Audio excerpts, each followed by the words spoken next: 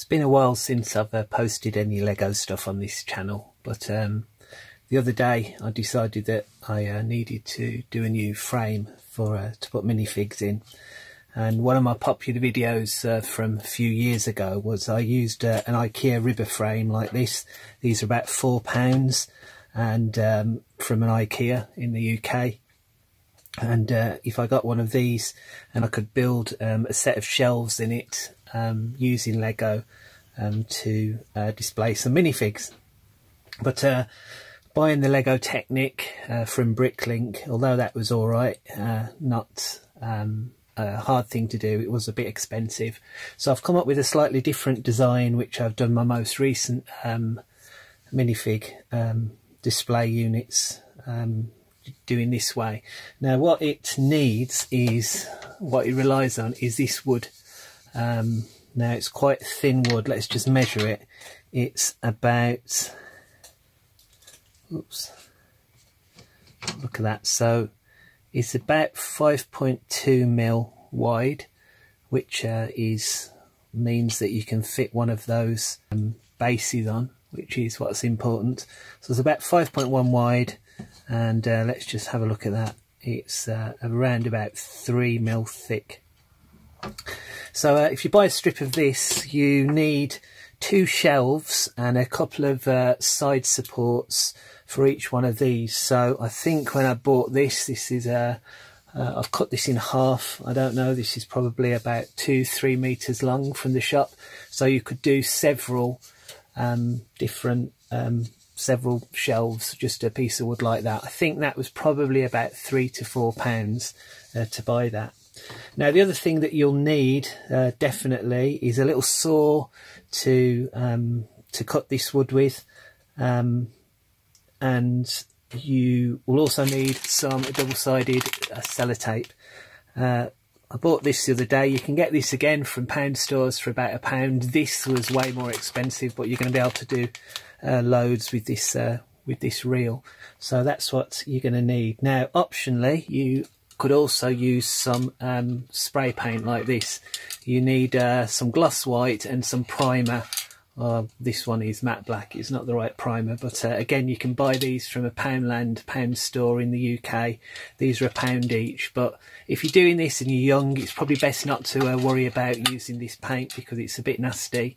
Uh, what I'll show you without using this uh, is probably the safer way to do it and a little bit easier.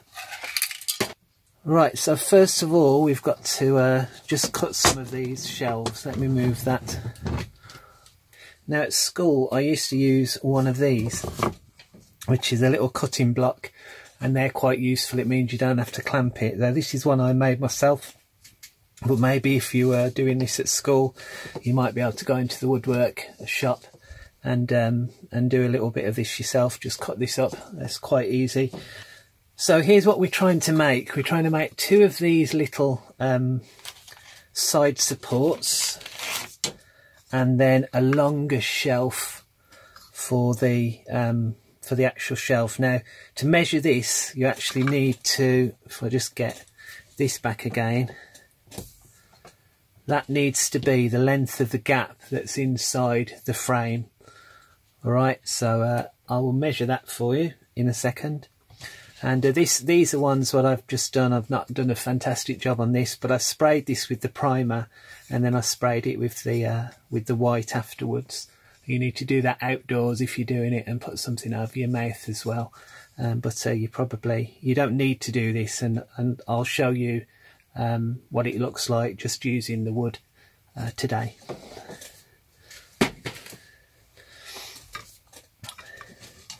So let's just uh, put this in there and mark this up. Hopefully this works. Um, draw that across there. And I'll do another one of these little ones. One.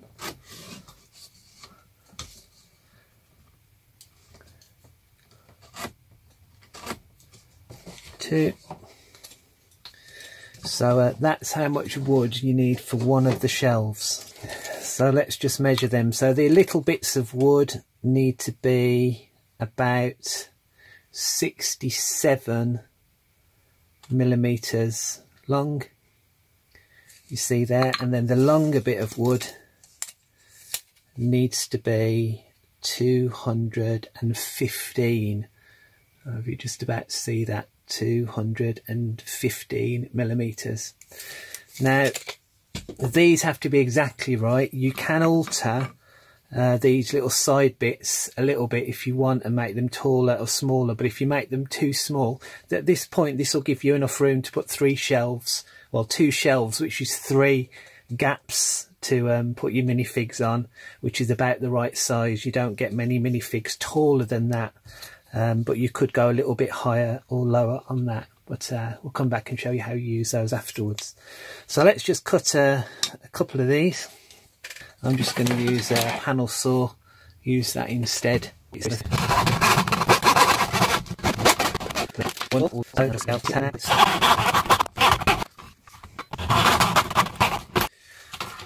Okay, there's two there and uh, I'll repeat that for another set.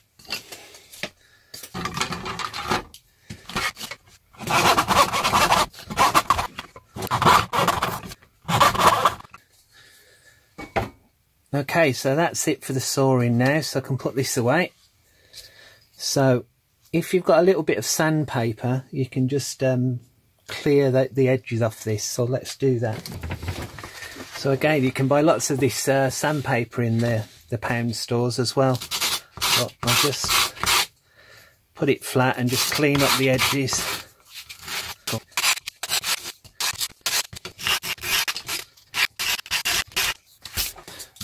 Okay, so here are the pieces that you need then for one minifig frame. So two of these and four of these side bits. So the next thing to do is put the sellotape on them. So this is double-sided sellotape.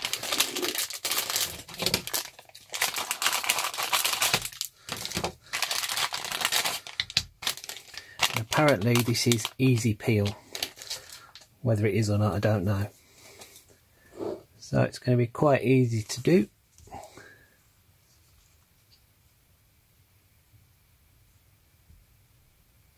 So I'll put one across there like that.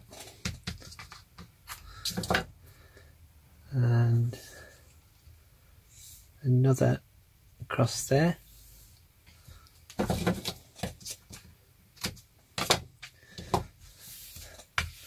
Make sure it's pushed down well and then I'll do the same with these side ones.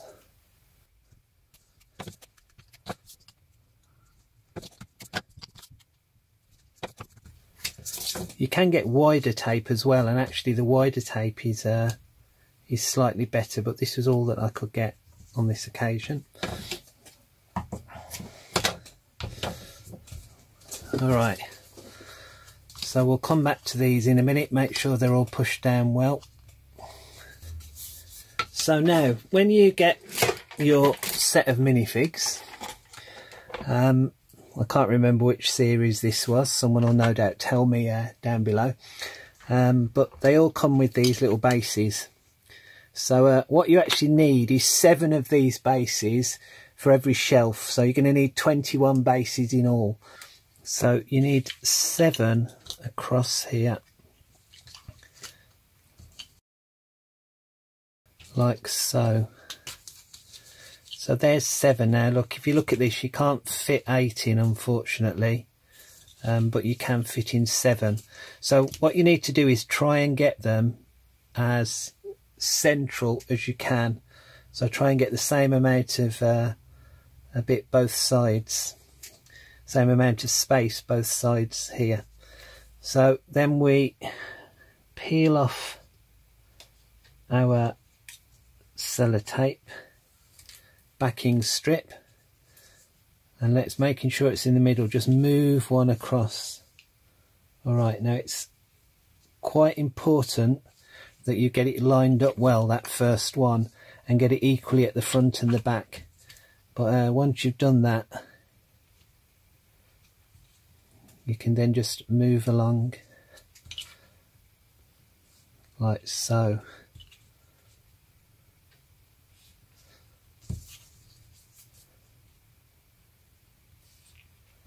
Now one of the things I did do is put a beam of Lego across it as well. This is another way of doing it just to make sure all of the little bits are lined up or you can get another one and push them across like that just uh, because if that's the case then you can actually stand a minifig on some of the two joining ones if you need to. But anyway so that's one of my uh, that one's a little bit off. So that's one of my shelves and I need to do the same thing on the other one. So I'm going to start raiding some of my bases from this. This is they're going in here anyway, so it's fine. So I've got two there. I need 14 more. So three, four, there we go. So they're to the way at the moment, and do the same thing with this one. So I need seven.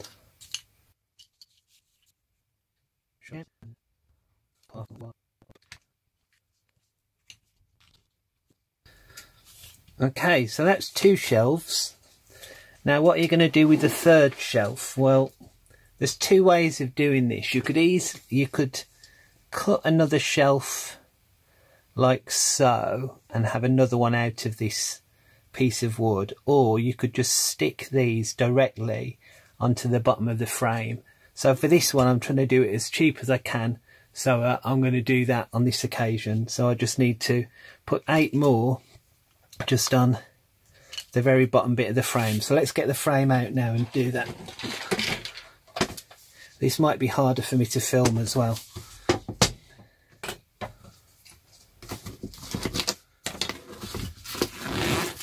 Because they come in a uh, in this sticky pack in this uh, plastic packaging and what I've found as well is it's best to do this somewhere where you haven't been sawing, otherwise you're going to end up uh, getting dust inside the frame. But uh, I'm not able to do that today because this is where I film. So these little things come out like so. And that pops off. As do the bit of paper and then the backing frame. And what you can do then is lever this out. And this one's got a little bit of uh, dust. No, it's only dust, so I'll move that. And then put this somewhere. That's glass at the bottom, so I'll put that somewhere uh, out the way. It's not going to fall off your table.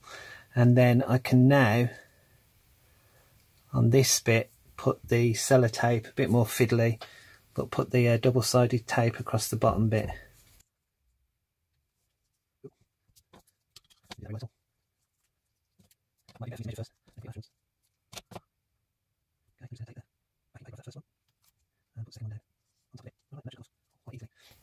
And now using one of these, you probably can't see that, but just using one of those to uh, line it up on the bottom I'm just going to pop the first one on.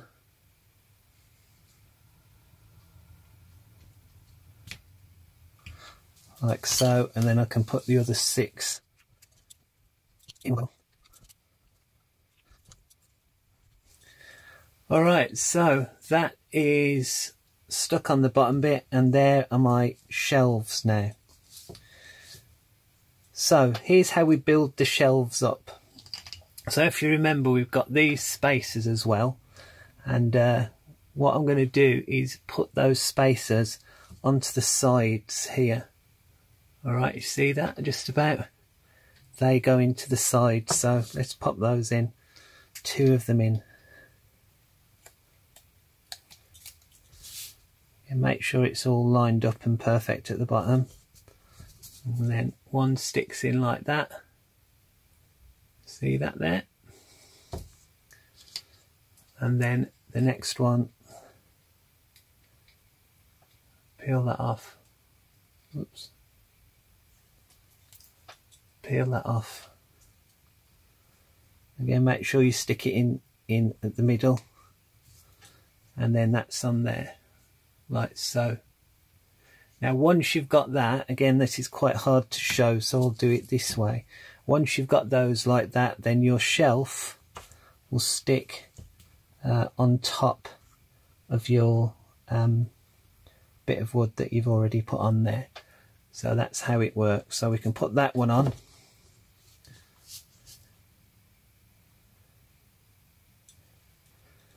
And then I'll stick, once I've got that one on like so, I'll then, in fact I'll do it flat, I'll then stick these side ones on as well.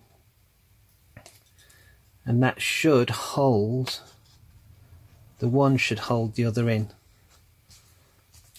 Right, so there's one.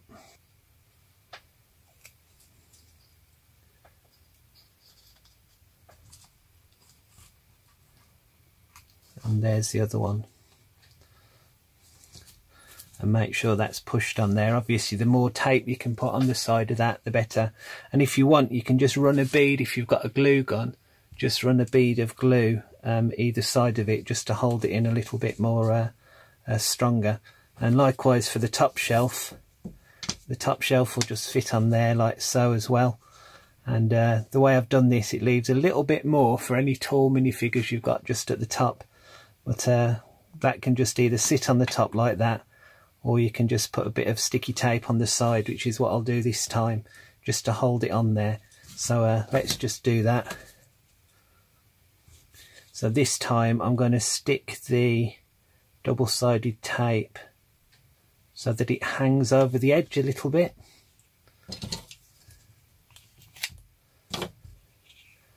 Like that. And then that will fold over and that will help it stick at the side a little bit better. Let's do the other side before I uh, get it all too sticky Of course, you could do all of this with a glue gun if you wanted, but doing it this way means if you ever change your mind, you can uh, take some of it uh, out as well. You can take the, the piece, pieces back off. Oh, just another little tip. Uh, notice some of those are a bit dusty. Um, and if you get a, a brush, it's quite easy, wonderful way to get dust off Lego. You just put, you just rubbing it with a brush, with a brush doesn't damage the Lego but it gets all the dust off it right so let's undo the backing paper both sides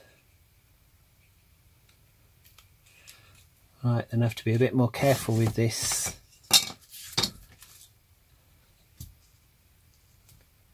and gently just pop those in and then it will just hold it all in place so there you go. Now that really is the basis of the frame. So all I have to do now is pop that back in the outside frame and then start to put my minifigs in remembering that I need to put the minifigs facing out um, so the other way to do it is to um, populate your frame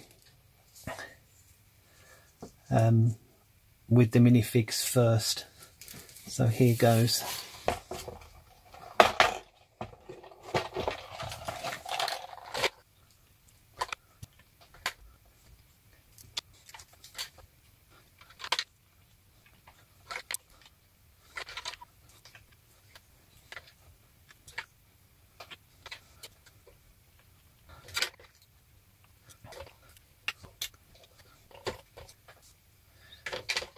And sometimes you can even put the uh, ones with extra accessories. You can pop their accessories next to them as well if you want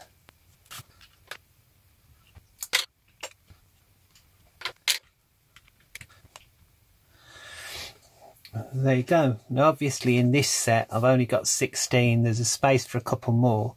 You can also make the minifigs um, get much more closer together, so if you were just displaying ones that weren't in a set, um, you can um, push them close together. You don't have to have just one on each um, on each of the little base plates uh, as I've done it here. Alright, so that's all my minifigs mounted. Now I just need to carefully transfer them back into the frame. Whoops. There go. Sometimes it won't work.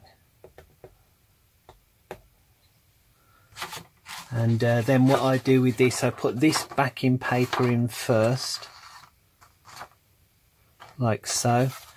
Then put the card paper in and then the backing um, board in afterwards and just bend the uh, these bits over Alright then, so hopefully, if I'm careful now, none of them will fall out. And there we are, um, my minifig case. I put that paper in the wrong way because I've got the barcode on. But anyway, let's not worry about that. Uh, but there you are, a cheap uh, way of mounting your minifigs for about £10. If you're doing two, maybe about £15 you might have to pay. But if you buy two or three uh, frames, then you can use some of the bits that you uh, that you buy to mount them.